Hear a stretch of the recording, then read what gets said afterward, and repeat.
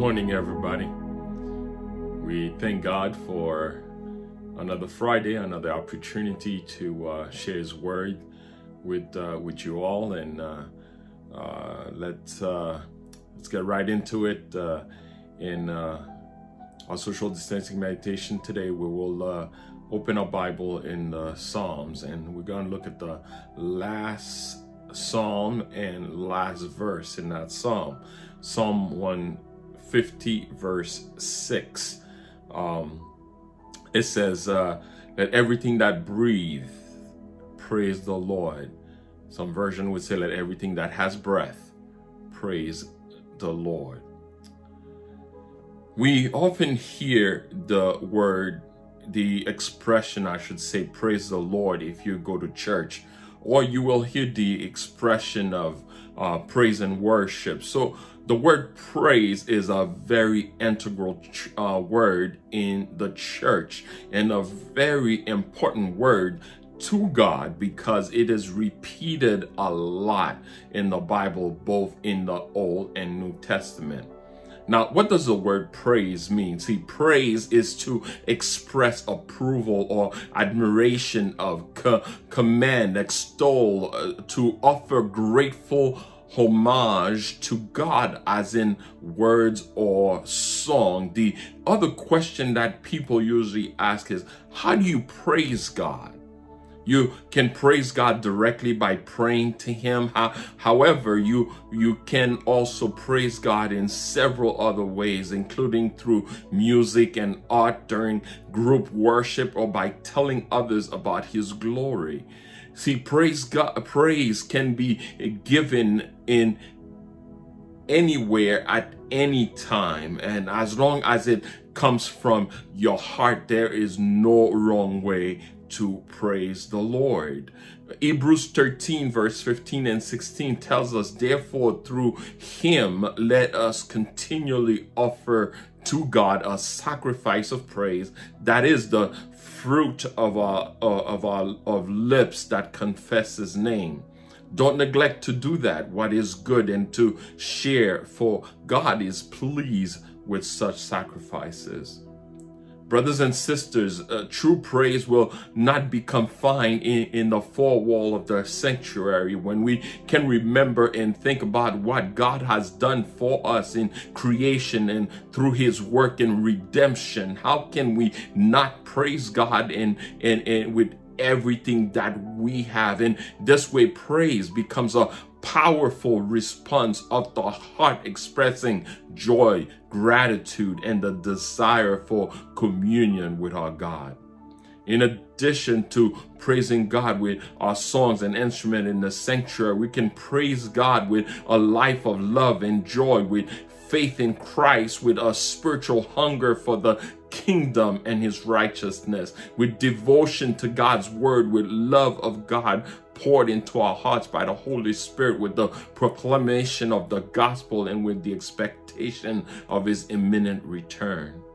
See, the Bible often exhorts God's people to praise the Lord. The writers of the Old Testament use three basic words to call Israel to praising God. The word barak, which can also be translated as blessed. The word halal, from which hallelujah, meaning praise the Lord, comes from. And the word yada, sometimes translated as give thanks if we just take a look at the Old Testament, we can see that the, the, the Bible first song was after the Israelites has, had crossed the Red Sea. It was essentially a song of praise and thanksgiving to God. Moses later commended the Israelites to praise God for his goodness in keeping his promise to them. We see Deborah's song is a call for the people of God to give him praise. David's desire to continue continually praised the Lord is recorded in the story of his life and the Psalms he wrote. There are countless of verses in the Old Testament that instructed God's people to praise him. See, the call to praise the Lord is all over the New Testament as well. Jesus clearly gives us the perfect example to follow when he praises Father in heaven in Matthew 11 23 and Luke 10 21. Paul teaches that all the redeemed among the nations to praise God, and James made the same plea. At the end, the picture that we see is that of vast multitudes of both saints and angel praising God continually in the book of Revelation. Brothers and sisters, praising God is one of the main function of angels and it is a privilege for me and you to be able to give praise to the Lord. See, God calls all nations to praise him. In other words, everything that is breathing is to shout out the praises of his name. If we don't do it, there are several references in the Bible where God calls inanimate objects, animals, and all kind of trees and all kind of living creatures and to give him praise. See, praising God can take place in several different ways. We we ought to praise God with singing. One of the things that I notice uh, uh, here is that praising God is not a silent activity. There are so many different places in the Bible where it talks about praising God with all kinds of instruments. Can you imagine a bunch of instruments praising God? It will not be a silent activity. When we testify about the goodness of the Lord, that is a way of praising praising the Lord. Several of the writers of the Bible encourage us to praise God in the congregation of God's people and among the nations. And one of the best way that you and I can praise the Lord today is to live a life that is worthy of God's glory and a life that will bring glory and praise to his name. Jesus reminds us in Matthew 5, 16 and John 15, 18, if we let our light shine, people will see our good deed and give glory and praise to God. In similar fashion, Paul reminds us in Philippians 1:11 that a life filled with the fruit of righteousness praises God. Why do we praise God, my brothers and sisters? As if I didn't give you enough reason for all that I have said until now. See, one of the reason is because of God's splendor, glory, majesty, and beauty. The one that created the heavens and the earth, the one that created everything that exists, the one that when he speaks, all that we see and know came into being. We ought to praise God because of his mighty acts, in particular, his acts of salvation and redemption is a key reason to praise his name because in doing so, we are praising God for his unfailing love, grace, and mercy. And finally, we ought to praise God for his many blessings toward us, whether it is a deliverance from the snare of the enemy, deliverance from, from, from sickness in our body, his daily care for us, physical or spiritual healing or sustenance and sustenance, all those are more than enough reasons for us to wake up every morning and wants to praise the Lord.